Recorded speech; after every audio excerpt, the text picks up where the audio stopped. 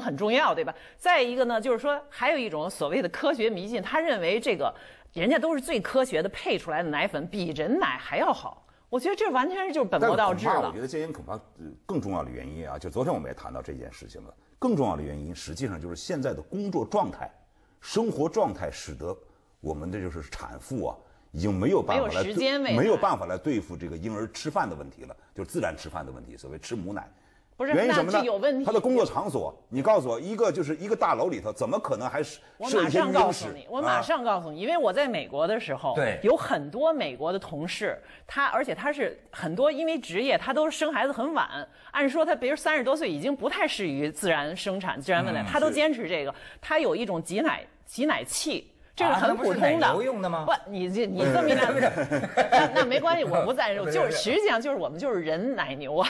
你可以这么说，那时候我觉得像个大奶车，它很容易的，你就在在呃挤奶器。放到瓶子里，而且可以把这个挤出来的挤奶器取出来的奶放到冰箱里边，留在家里边。然后上班你可以照样上班。然后家里面的或者是你的丈夫、亲人，五个小时你就不用挤了吗？不用，你可以带着挤奶器，你带着挤奶器，不断挤是吧？一会儿就挤出来了。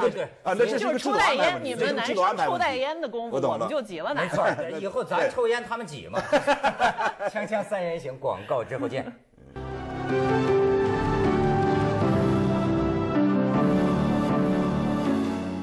我跟你讲，虽然说母乳喂养好，但是呢，母亲吃的饲料会不会影响的？不是母亲，你这个饲料，您真把我们当成母牛了？不是不是，就是说 有，我明白你的意思，有影响。我们吃的时候不是我跟你聊扎老师，他们说所谓胎教，我我我听见一个资料说了，中国做得到，中国能行。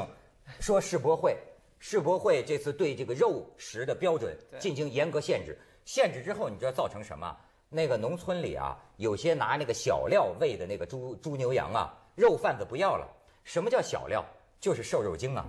这个瘦肉精加在饲料里，可以让这个这个这个牲畜啊，它不长肚子，就不像苏里这样 它长肌肉，光长肌肉，长长肌肉。过去瘦贩子喜欢，因为产肉产瘦肉量高嘛，肉肉贩子还喜欢收购这种肉。对。但是世博会这么一要求啊。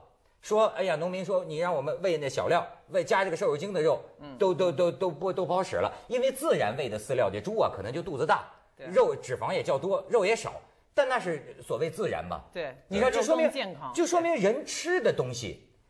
也会影响到人分泌的东西吧？就近年包括给那个就是呃牲畜打抗生素，使得它能够不不生病嘛？呃，它的抗体增加了。但是这种打过抗生素、生产很快就是不太生病的这些肉，你吃了以后。在你身体里引起你的抗体，就是对抗生素。等你生病的时候，你再吃抗生素都不管用了。管用了吗？对对，一样的。包括我们这加香精，我看这个报道以后还说，就是为什么我刚才说母乳这个更是最好的呢？我还要强调一下，就是水乳交融这件事儿，你们是男性是不能体会了。确实，它是一个。但是我能理解啊。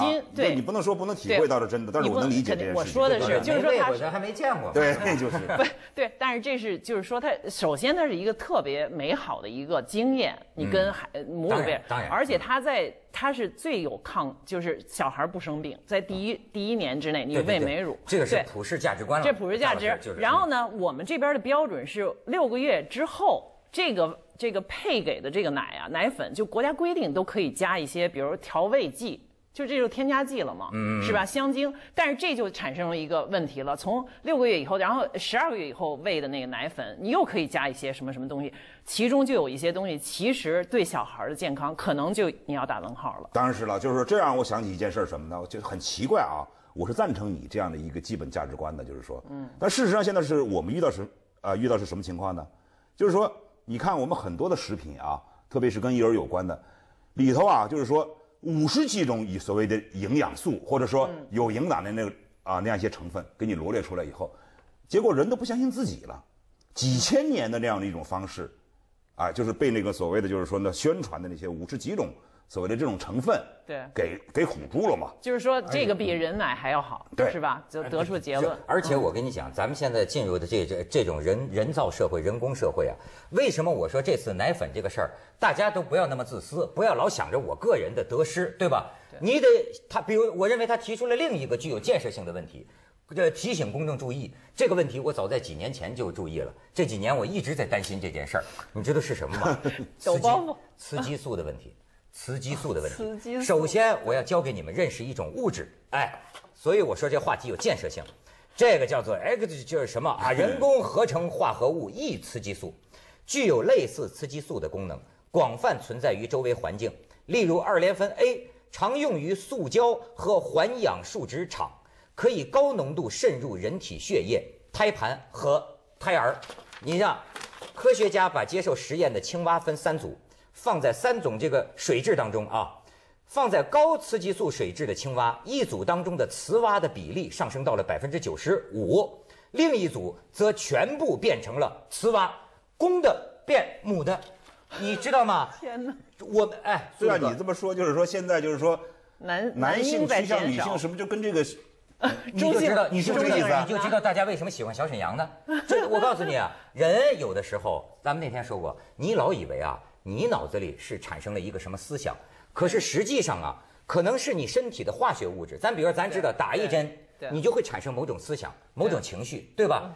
你焉知现在的这个文化转阴柔、转中性，或哎，啊难道跟这个真的是物理跟这个物理状态跟你的身体变化？跟文化物理状态有我跟你说，这个外国科学家已经说了，亚马逊河的那个有个出海口啊，因为很多塑料的那个废物放在那里啊，在出海口上发现那个鱼啊，都是二椅子鱼啊，就你知道吗？他这个这那个个韩寒那个韩寒那个小说，其实韩寒那个小说《我的国》里头歧视性，词儿啊那啊个那个《我的国》里头也讲到这个，就是说他们那个小镇上，本来那个鱼就这么大，结果最后就是由于工由于工业污染啊，那个鱼喝了那个工业污染的水之后，长得奇大无比，对啊都把当地人吓得够呛。那最后就是说，当地食用这个鱼的人，呃，产生了一种就是所谓的怪病，就是是。食物链的。但是呢，我还是不是太同意你这个说法，就是说哎，可能某种物理不，我这这是不我再给你拿证据这是这是科学结论啊。啊可以但是某些比如说物理状态，那我相信可能有这个问题，就是说，但是呢，我想。